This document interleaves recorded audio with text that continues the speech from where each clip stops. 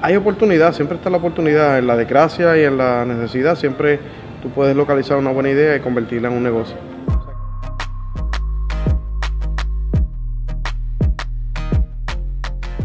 Yo trabajaba en una, en una compañía, una agencia de gobierno.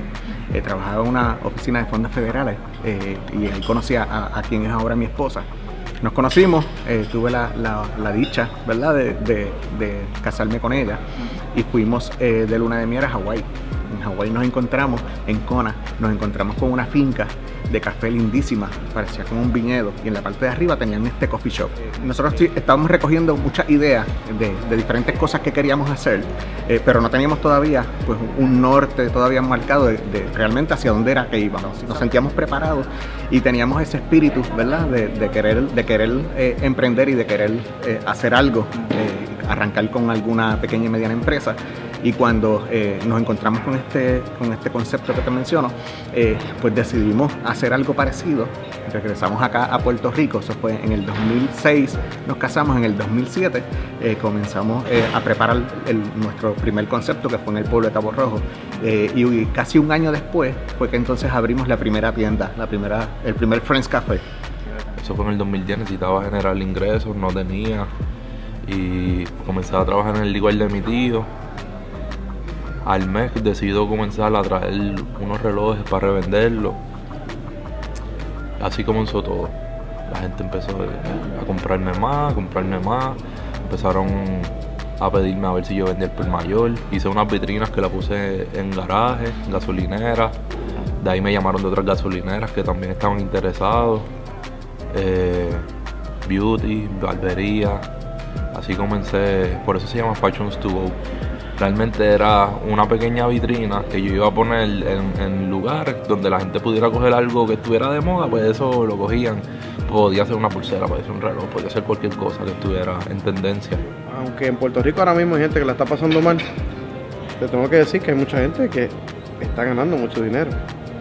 Pero hay cosas que es que nosotros no las podemos ver porque estamos sumergidos en la desgracia y en lo, en lo que nos está pasando como país. No vemos las oportunidades que se nos están presentando de frente.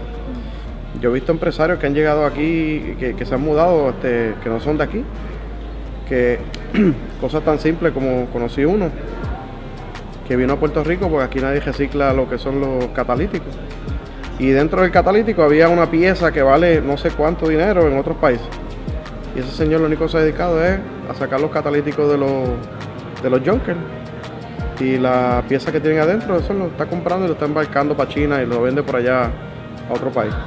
Y con eso vive y hace mucho dinero. Por aquí. Hemos tenido, nosotros hemos tenido eh, muchísimos contratiempos, hemos tenido muchos tropiezos, hemos tenido, hemos pasado eh, las cosas que yo podría y no podría contar, eh, pero, pero siempre, pues, pues lo hemos logrado, lo hemos logrado porque como siempre pensamos que hay un día después de otro y siempre pensamos que sí se puede hacer. Puerto Rico las pequeñas y medianas empresas tienen salida. Lo que, lo que necesitan es más gente que, que- se atreva y que diga, ¿sabes qué? Yo lo voy a hacer a como sea, a como dé lugar lo voy a hacer. Esa es mi meta, está ahí. Estoy súper cerca de ella. Me tengo que tropezar 45 veces para poder llegar. Hay montones de montañas en ese medio, tan cerca. Pero eso nunca ha sido un obstáculo que nunca he podido pasar. Eh, ya trabajamos, si hay que trabajar 16 horas, trabajamos 16 horas, si hay que trabajar 2 horas al día nada más porque ya tenemos todo bajo control, pues se trabaja 2 horas, pero trabajamos los 7 días. Nosotros tenemos que crear que la empresa privada sea el semillero de nuevas ideas y, y de innovación.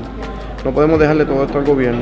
El gobierno tiene recursos limitados y también nosotros tenemos los recursos limitados, pero si podemos colaborar, hacer asuntos colaborativos y ver en que yo te puedo ayudar, mira, yo te puedo ayudar en esto, que tú me puedes ayudar y en que entre cada uno de nosotros nos pongamos de acuerdo, yo creo que le damos la oportunidad, creamos el ecosistema para que la gente vea las oportunidades. Vamos a modificarlo. El cambio es algo que no deba asustar. Es parte de.